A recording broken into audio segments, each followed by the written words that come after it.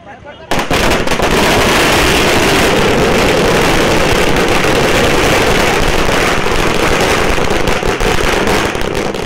రాష్ట్ర ముఖ్యమంత్రి కేసీఆర్ గారు కల్వకుట్ల తారక రామారావు గారు మరియు హరీష్ రావు గారు ప్రవేశపెట్టిన బడ్జెట్లో సామాన్య జీవితానికి చిరునవ్వు కల్పించే ఈ బడ్జెట్. ఎందుకంటే దళిత బంధు ఒకటి మన పేదవారి ఇంటికి నిర్మించుకోవడానికి మూడు లక్షల రూపాయలు ఇవ్వడము చాలా గొప్ప విశేషము.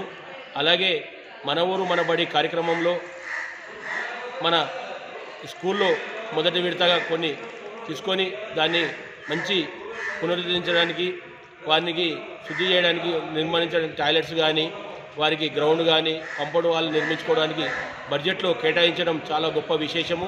అలాగే ఇన్నొద్దుల నుంచి ఎదురు చూస్తున్న మన వృద్ధాప్య పెన్షన్స్ కానీ ఆరో ఆసర పెన్షన్లు కానీ మన కేసీఆర్ గారు చొరవ చూసుకొని ఇందులో ప్రవేశపెట్టినందుకు ఆసరా పెన్షన్ చేసినందుకు వారికి పూర్తి ధన్యవాదాలు తెలియజేస్తున్నాను.